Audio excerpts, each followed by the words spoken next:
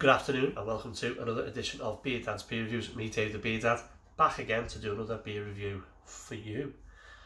I'm going to do a Gipsy Hill beer. I've been to um, the mighty Bartons in Ashton Makerfield Bartons and um, they're the, one of the few places I've seen Gipsy Hill beers. Um, yeah, go do one of their one of their beers. I like Gipsy Hill. Some of the stuff's really, really, really good. Um, and it's their South Central IPA weighing in at 6%, says so there. Nice can this actually, if you have a little look at that, it's like downtown LA. Well, I'm sure that's what they were going for. Um, it says on the back, uh, South Centre is a West Coast style IPA. Big C hops, Centennial, Cascade and Citra um, have been uh, packed into a lovely clean grist uh, to give a lasting a, to give lastings of resinous and piney dank and bitter hop notes uh, it's IPAs the way they used to be all over again. It goes great with it goes well with inner city streets, um, and usual stuff that they usually put on the stuff. Drink it and talk to people. That's what it says there. Okay, best before on this one, can date and the best before.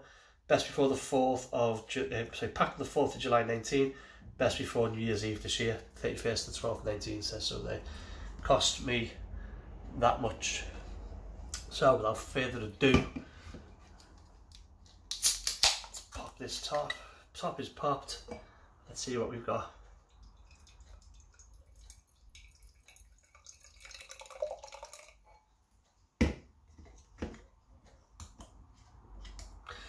There we go.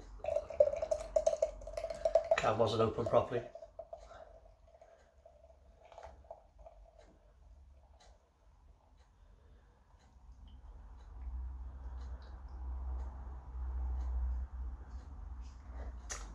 Shortly. So, beer in a glass, what have we got?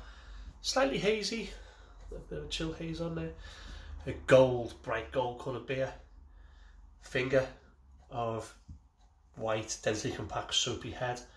Looks really, really tasty that. Looks really tasty. There's no carbon, there's no floaters in it that I can see. So a little touch of carbonation. The camera, whether the camera can pick that up or not, I've got no idea. Right, try and get the rest in.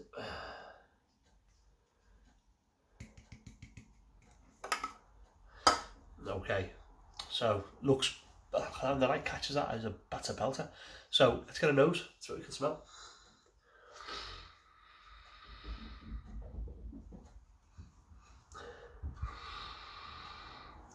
Nice fruit, citrus fruit.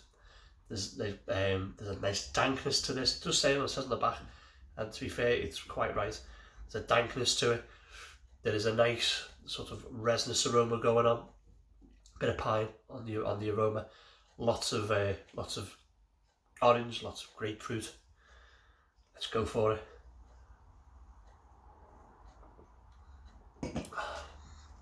Real soft carbonation. Um, body wise, a little bit light, but it is a little bit oily, which is good. I like that. It makes it just slides down a little bit easier. Um, go for a big taste.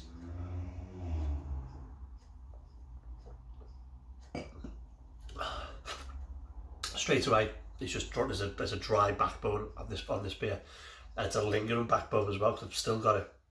There's a nice pine, um, piney touches to it. There's a nice little resinous bit in there as well. But starts off the flavors really you get you get this dryness straight away, and then the, the fruit comes through, the orange comes through, the grapefruit comes through. There's peel and rind. It's, it's, it's a little bit of, it's, it's a bit pithy as well.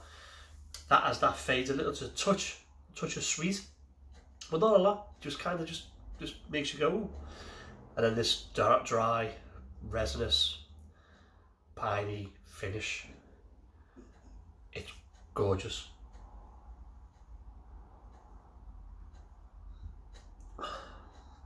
It's really nice.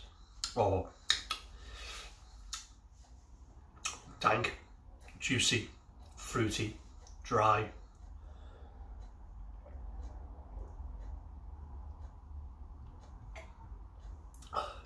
A will winner.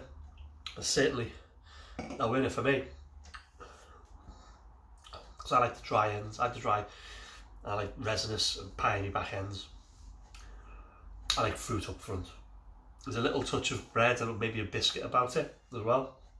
But it's just great. Very, very easy drinking, as you can see.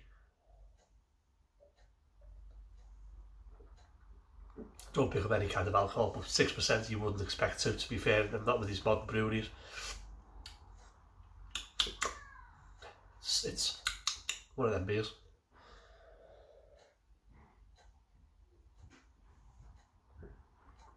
Five pound, is it worth five pound? Possibly not. Possibly not. But I suppose way modern brewing's going, hops are going up in price, I would imagine. Beer's going to go up in price, especially good craft beer.